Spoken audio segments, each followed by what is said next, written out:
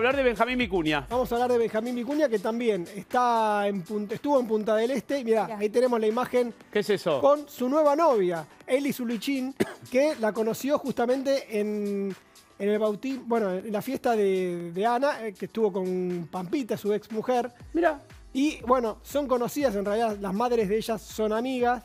Y la conoció ahí, hubo una, un- una luz verde para que comenzara la relación. Y bueno, se ve que se adelantó demasiado porque ya incluso compartieron un viaje juntos ahí en Punta del Este. Una pareja que, que tiene también la bendición de Ana Rosenfeld, que es la abogada de Pampita, cuya hija Ana es, es, amiga. eh, Ana Rosenfeld es bastante celestina. Sí, le encanta. Es Celestina Rosenfeld.